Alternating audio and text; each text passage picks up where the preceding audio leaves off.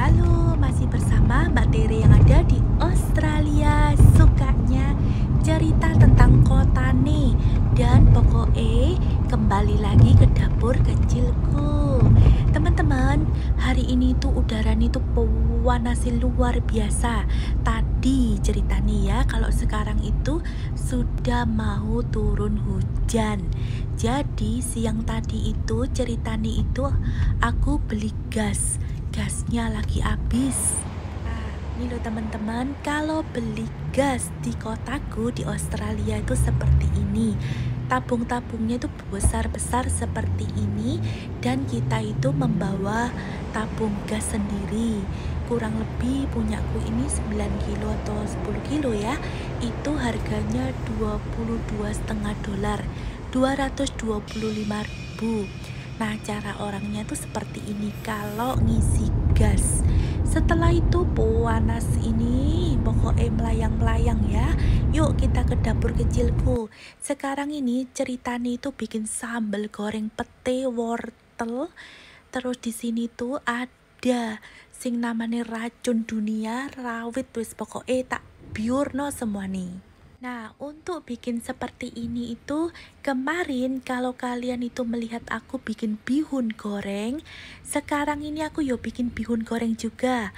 Pokoknya jangan dilewatkan ceritaku cerewetku ini yang mengandung racun dunia. Sekarang ini aku masukkan tak taning-taning seperti ini. Tak kasih ke temenku tak kasih ke omku. Wis pokoknya siapa saja yang mau ya. Jadi hasil karyanya mbak Tere ini ini seperti ini. Bihun goreng terus bawane itu nasi uduk sing burek itu loh teman-teman. Jadi nasi uduknya itu tidak putih tetapi ada rempah-rempahnya. Terus mari gitu ada telur rebus dikei sambel. Seperti ini cerita nih sambal gorengnya Mbak Tere ya. Ada tahu, ada pete, ada tempe. Tahu ini digoreng sebentar, dipotong-potong. Ada pete, ada wortel, ada cabai besar, cabai rawit. Wis singgara no enak ya. Habis gitu, bawang putih ini digong sering kayak gini ya. Loh, mana bawang merah nih Nat? Wes gak usah. Bawang merah gorengnya itu dibuat di atasnya, di sepiurno gitu ceritanya ya. Nah teman-teman seperti ini wes mari itu masukkan sing namanya potongan kerang dan kalamari tinggal sedikit campur Lek namanya sambal goreng itu sakarepku wes sakarepku tak campur seperti ini. Digombreng sampai mewangi sepanjang masa. Pokoknya wortel dimasukkan dulu ya. Sebelumnya nanti dimasukkan pete dimasukkan macam-macam. Masukkan dulu wortel Nah setelah itu kalian bisa menambahkan sing namanya bubuk lengkuas, garam, merica, air mateng, gula, wis pokoknya dimasuk no.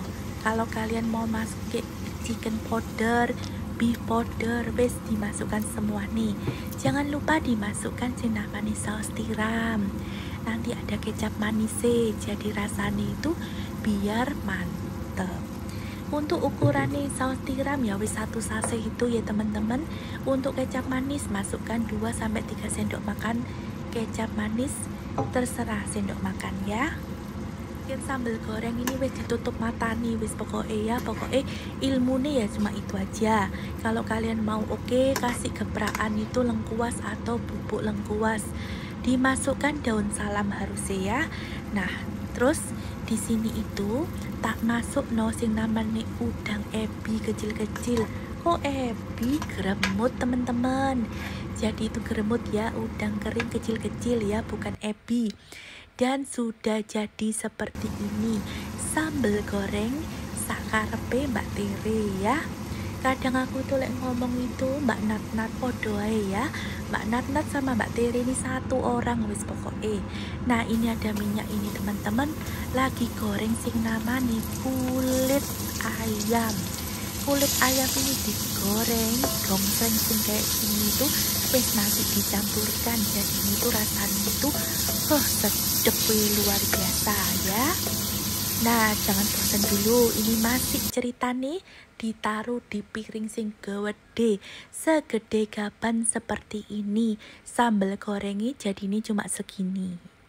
Ada masalah yang penting itu sudah ditaruh tempat yang cantik yo. Nah setelah ini teman-teman masih ada resep sing kedua ketiga. Waduh dan diikuti terus. Tunggu ya ini masih di dalam percobaan. Jadi kalau yang ini itu seperti ini modelnya nasi uduknya memang seperti ini karena berempah berempah berempah. Jadi jangan ditanya kok modelnya kok nasi goreng ya. Jadi kalau kalian suka langsung di like di komen dan di share karena ceritaku ini pasti mengandung racun dunia yo. Sekarang ini kita bikin bihun goreng kembali Bihun gorengnya ini kemarin itu aku bikin yang berbeda yang dimakan sama nasi uduk bore. Nah, kalau yang sekarang ini bihun gorengnya itu dibikin versi sedikit berbeda. Bedanya itu karena di sini itu di sini itu aku kasih jamur kopeng loh. Terus di sini tak tambahin sing namanya ayam. Kemarin juga ada tambahan ayam, cuma kemarin itu ayamnya sedikit. Nah, kalau sekarang ini bertabur ayam cerita nih. Terus nanti kalau udah dimasukkan ke kontainer di sini tuh jadi cantik, dikasih bawang putih, bawang merah goreng dan telur rebus. Kompreng pokoknya sampai wangi. Nah, setelah wangi teman-teman cerita nih di sini tuh tadi tak tambah 2 sendok makan minyak dan ayamnya itu sudah tak kasih merica dan garam ditambah lagi jeruk nipis. Setelah itu ditambahkan satu butir telur di gongsreng seperti ini. Masukkan air kurang lebih ya 100 ml air matang ya. Masukkan seperti biasa sing namani sauri. Saus tiram ini wes dimasuk no dicemplung no jadi satu. Nanti ditambah sing namanya kecap manis kecap ikan terus dimasukkan juga yang namanya minyak wijen. Wes itu andalannya. Seperti biasa toh garam merica. Kalau kalian mau chicken powder masuk no beef powder yo masuk no tapi aku bikinnya tuh seperti ini saja. Nanti aku masukkan bihunnya.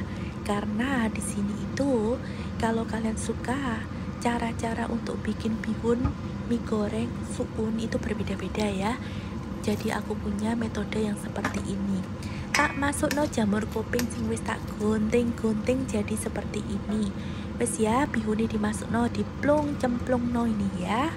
Setelah itu kalian harus bikin ini apa namanya wortel.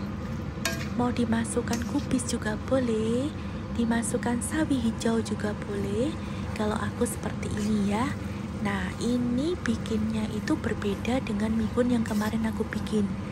Jadi ceritanya seperti ini. Jika kalian suka jangan lupa ya lihat di description link yang aku kasih kemarin. Jadi kalian bisa datang dan mengunjungi pada waktu aku bikin kemarin. Jadi link yang terkait ya teman-teman. Nah ini sudah jadi bihunnya kalau makan dikasih sambal atau potongan cabai rawit. Waduh, serasa melayang-melayang pokoknya. Ceritanya Mbak Tiri di dapur kecil ini sudah selesai. Saatnya Mbak Tiri mau berkemas-kemas dan akan berikan masakan-masakan ini ke teman-temanku. Terima kasih yang selalu hadir, selalu sayang sama Mbak Tiri. Salam sayang selalu. Pokoknya kalian kalau ingin melihat sesuatu yang baru, kalian bisa lihat di description dan kembali-kembali lagi di video-videoku yang terbaru. Aku akan selalu menebar racun dunia. Terima kasih. Salam sayang dari Australia. Sehat-sehat selalu. Jangan lupa di like, di komen, dan di share ya. Bye-bye semuanya.